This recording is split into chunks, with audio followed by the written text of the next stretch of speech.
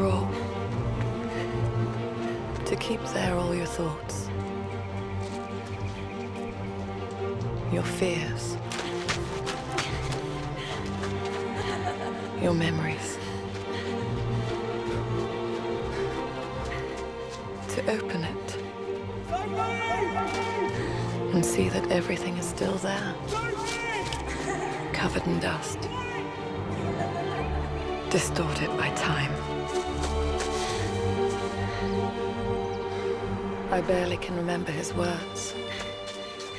The things he used to say to me. His gestures. His eyes. His figure in the middle of the room.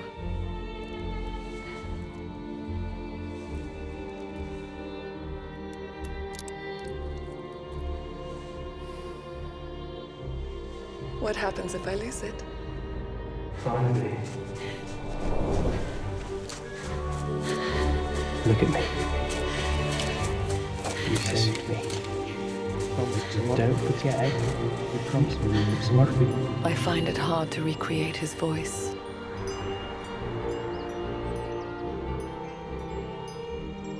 Sometimes,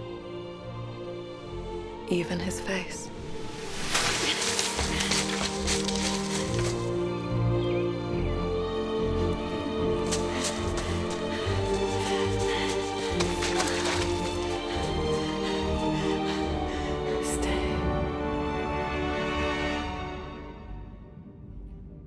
Stay.